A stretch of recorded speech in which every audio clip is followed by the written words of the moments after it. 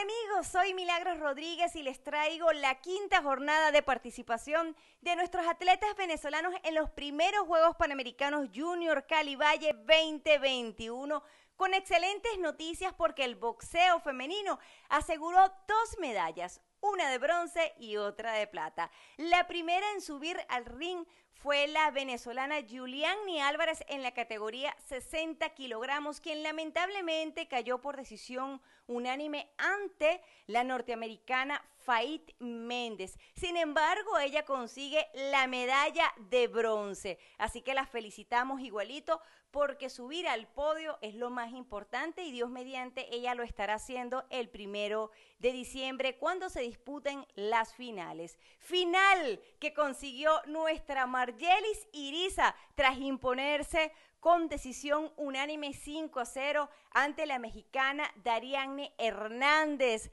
Fue una pelea de infarto sumamente emocionante en donde nuestra venezolana demostró una buena técnica y táctica.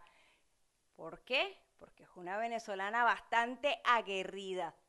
Ella estará disputando la final este primero de diciembre y estará enfrentándose ante la colombiana Angie Solano. Así que enviarles las buenas vibras a nuestra criolla para que consiga la medalla de oro y su cupo directo a los Juegos Panamericanos Santiago 2023. Pero ellas no fueron las únicas que nos dieron buenas noticias. También el béisbol masculino. Nuestros abanderados se impusieron ante Cuba tres carreras por en el grupo B y pasaron a la instancia de semifinales en donde se estarán enfrentando ante República Dominicana el primero de diciembre. Así que estén bien pendientes. Ojalá que este equipo haga historia que no solamente sean los campeones del mundo, sino también los campeones del continente americano. Otros venezolanos que también vieron acción fue en los deportes como la natación, la gimnasia artística, el softball femenino, el ciclismo de pista